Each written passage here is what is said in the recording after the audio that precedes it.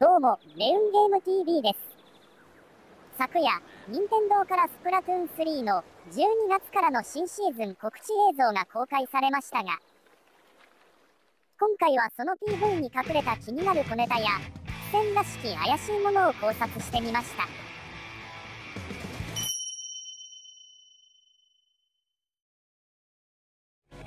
公開された PV では、サーモンランの特殊イベント、ビッグランの映像が初公開され、よく見ると、熊さん紹介の壁に、大量と漢字で書かれた、鮭が多く収穫できることを知らせるポスターが貼られており、また、サーモンランの控え室には、たくさんの鮭が描かれたポスターらしきものも増えており、バンカラ街の空にもヘリが飛んでいたり、緊急速報が流れていたりと、ただごとではない雰囲気が漂っています。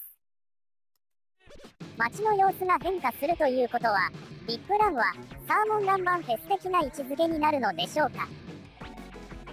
今のところ、9月、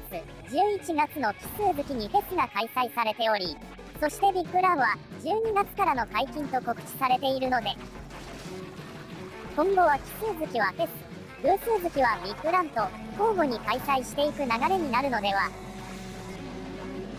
発売前から公式サイトにも数ヶ月に一度発生すると告知されていたので2ヶ月に一度だとすると辻褄が合う。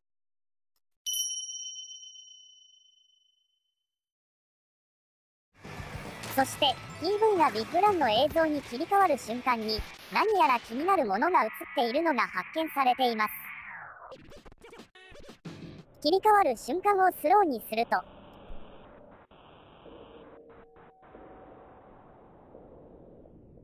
よく見ると、荒れる空と逃げる人々の絵のようなものが一瞬だけ映り込んでいます。実はこの絵、過去のスプラトゥーンシリーズに一度だけ登場しています。それは、スプラトゥーン2のミステリーファイルの17番、7つの輪より煙が上がり、海から赤き魚が現れ、死のあらゆるものを食い尽くした、と記されており、赤き魚とは、つまり鮭たちのこと。そして、予言書と書かれているので、つまり、これはビッグランのことを表しており、スプラトゥーン2が発売された5年前から、ビッグランが起こる伏線が張られていたというのか。伏線が壮大すぎる。そして、この絵を見た後に、ビッグランの告知映像を見返してみると、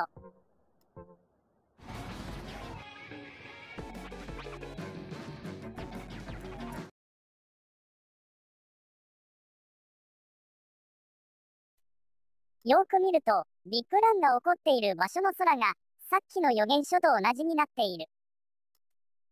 つまり、この島から鮭が押し寄せてきているということなのか。そして、7つの輪というのは、一体何を意味しているのか。ヒーローモードでも鮭が大きく関わっていたので、追加ストーリーで謎が明かされる可能性もありそうです。ちなみに、スプラトゥーン2のミステリーファイルには他のページにも、中世の時代に書かれた70年に一度の鮭の大移動の様子が書かれていたり、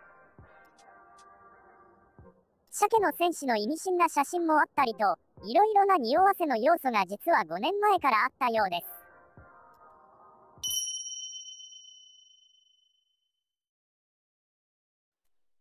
そして、新たに公開された温泉街のような新ステージの映像。このステージの名前は、まだ公式では明かされていませんが、映像に映っているステージの看板をよく見ると、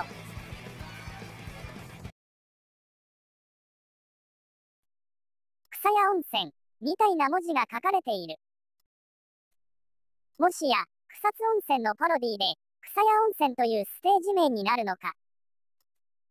また、その横にも、草屋をイメージしているのか、魚を開いて干物にしたようなロゴも記されています。そして、初代スプラトゥーンからの復活ステージ、ヒラメが丘団地も公開されました。初代の時と比べて色が鮮やかになり、団地の形も変化しているような。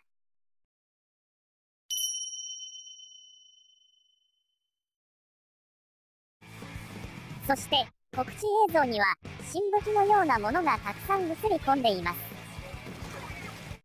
マクドナルドのドリンクみたいなものがついた無駄に横に広い謎の新ローラー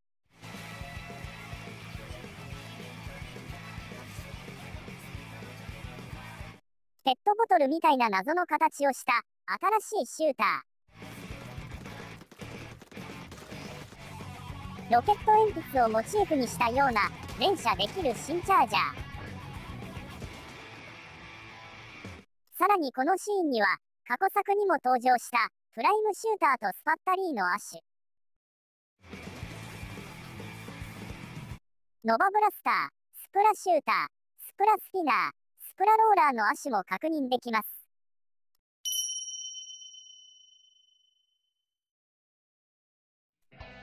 そして実は、海外版スプラスリーのアプデ告知ページに、日本版にはなかった情報がいくつかあるとの情報をいただきました。ここの部分を日本語に翻訳すると、3個の新しい武器、ローラー、チャージャー、シューターと以前のスプラトゥーンから復活する10個の武器が登場。と記されており、新武器は合計13個になりそうなことが判明しています。そして、ここも翻訳してみると、ショップに新しいニアと雑貨が追加されると書かれています。一体いくつの新要素が追加されるのか、12月のアップデートが楽しみすぎる。